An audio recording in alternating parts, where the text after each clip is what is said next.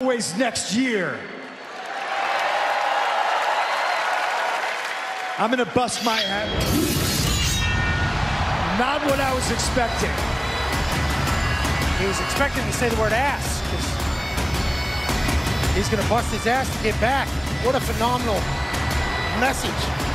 Incredible emotional message by CM Punk. The announcement that he has torn his right triceps will not be ready for WrestleMania this year.